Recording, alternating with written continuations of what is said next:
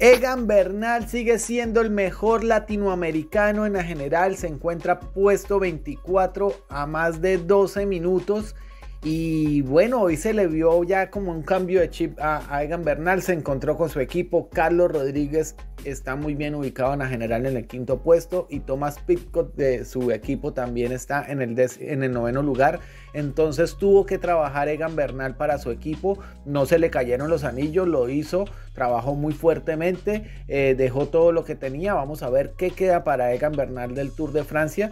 Y también este, es un equipo que va a tener que apuntarle a, las, a, ver si puede acercar a Carlos Rodríguez al podium. Eso sería interesante para el equipo Ineos porque no le queda mucho más.